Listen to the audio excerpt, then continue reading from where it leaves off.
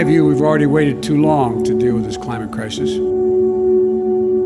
The scientists tell us that this is the decisive decade. The existential threat to humanity is climate change. US President Joe Biden has made action on climate change a priority for his administration. To cut greenhouse gases in half, in half by the end of this decade. But his ambitious clean energy agenda is now being held hostage in a deadlocked Senate by a single senator from his own party.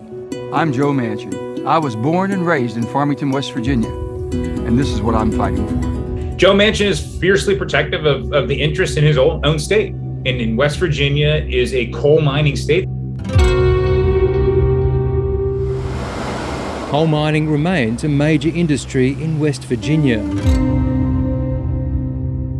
Senator Joe Manchin ran a coal broking firm before he became the state governor and then senator. There's a wide agreement that we need to address climate change, but less agreement on how, how fast and was and at what cost. Joe Manchin wants to protect the carbon industry in his state. And he's very forthright about that. He doesn't even think that's an, an insult. He owns it. He talks about it. He campaigns on it. This is how he convinces his voters in his home state that he is actually an acceptable Democrat, that he's not selling them out for an agenda that they perceive to be overly green. I'll take on Washington. It's not the first time the Maverick senator has challenged the plans of a Democratic president. In 2010, he publicly opposed plans to cap and trade carbon emissions during the Obama administration. And I'll take dead aim at the cap and trade bill. Because it's bad for West Virginia. Now, Joe Manchin's already killed off a major plank of President Biden's climate agenda. A carrot and stick measure called the Clean Energy Performance Program, which was meant to encourage American energy producers to move to renewables. But here's the deal that is only one of well over, well over a trillion dollars worth of expenditures for climate change. Some progressives remain optimistic about the president's ability to fulfill his climate agenda.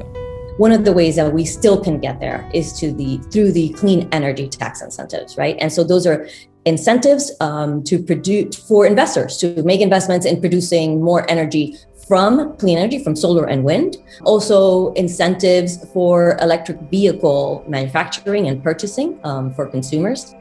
Dr. Frances Colon was part of Biden's transition team and she's a former deputy advisor on science and technology at the State Department under Hillary Clinton and John Kerry. She remains optimistic about the president's climate credentials. I think that Biden goes into Glasgow uh, with a position of having brought the United States back, of making all the right moves.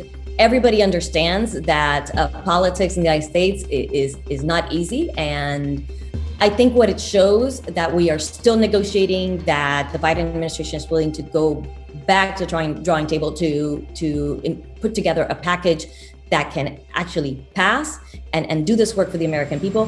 Mr. President, you're gonna get a deal before your trip. Best case, he arrives with three quarters of a loaf at COP. Worst case is he arrives with nothing. Now, this is just a broader question for the negotiations is if it looks like he has the frameworks of a deal, can he go to foreign leaders? Can he go to COP and say, we're awfully close, we're going to get this done? Seems like he's a ways away from that.